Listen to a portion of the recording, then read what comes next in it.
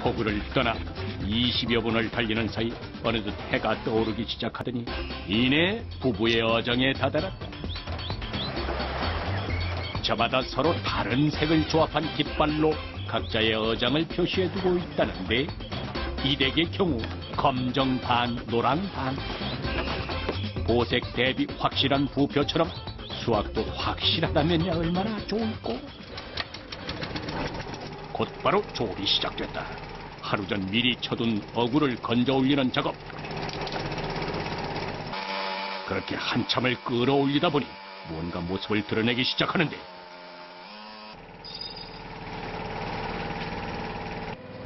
헌데 이게 웬일? 올라오라는 쭈꾸미 대신 줄줄이 사탕 마냥 소라만 올라온다. 관찰 카메라 그야말로 대략 난감한 상황. 근데 올라오는 소라 하나하나 골라 잡더니 뭔가를 빼내는 아주머니. 자세히 들여다보니 소라 속에서 빼낸 그 뭔가의 정체는 다름 아닌 쭈꾸미. 게다가 통통하게 물오른 알배기 암놈이란다. 아니 윤석 어쩌다 그 아래 둥지를 들었을까? 신통방통한 쭈꾸미 자리. 일단 조금 더 지켜보자 쉴 새 없이 올라오는 소라를 일일이 만져보며 쭈꾸미 입주 여부를 확인한 다음 단박에 뽑아내는 게 관건인 듯한데 상처 하나 없이 쭈꾸미 빼내기 보통 내공으로는 어림도 없어 보인다. 이게 있을 때꽉 집어 갖고 빼내는 거. 아니요, 이건 그 나와요. 생물 때문에 저기 눈 있는데 한 가운데 게 거기 딱 집으면 거기 다 상처가. 그러니까 눈이 아니고 입. 오라 타겟은 바로 요 입이란다. 신속 정확하게 입만 노려야 한다. 갈고리로 찍어내더라도 상체가 적어야만 상품 가치를 높게 받을 수 있기 때문이라는데 손다리 갖고 빼면 안 나와도 다 발 다 찢어져도 안 나와.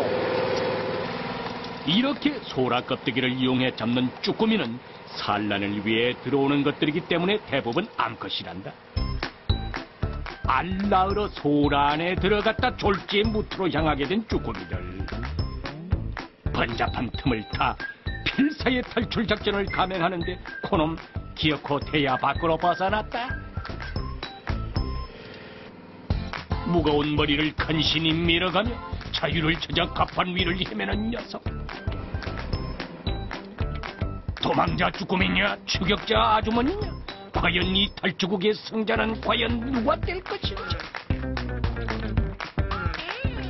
지켜보는 관찰 카메라 손에 땀난다. 그렇게 얼마가 더 흘렀을까? 우연히 발 아래 바닥을 보게 된 아주머니. 그제야 탈출한 녀석들을 발견했다 곧바로 재수감 조치 내려지는데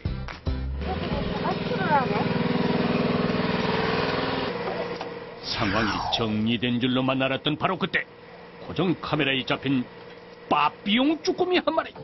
조금 전 긴급 체포 소동에도 불구하고 용케 살아남은 모양.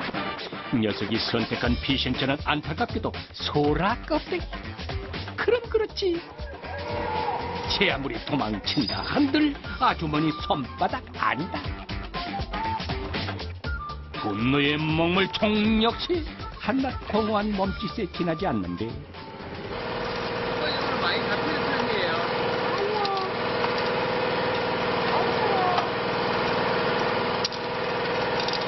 원래 얼마나 더 잡혀야 돼요? 몇 배 정도 더 잡혀야 돼요? 아 이런 데 들어가야 하는데 어떤 사람이 살수 나오잖아. 꽉 차 있어야 되나 보네. 이런 데 들어가야 이런 데 들어가기가 들어가는데 없잖아. 지난 겨울 혹한으로 인한 저수온 현상으로 개체수가 크게 줄었다는 서해안 쭈꾸미. 제철을 맞아 수요는 늘어나고 있지만 어획량은 예년에 비해 무려 40%나 감소했다는데 치솟는 수요를 따라잡기엔 공급량이 턱없이 부족한 상황. 상황이 이렇다 보니 쭈꾸미 한 마리 가격이 3, 4천 원을 호가한다. 말 그대로 귀하신 몸이 아닐 수 없다. 손님상에 오를 때까지 싱싱함을 유지하는 건 필수. 무트로 향하는 그 짧은 사이에도 노심초사 작업을 서두를 수밖에 없는 이유다.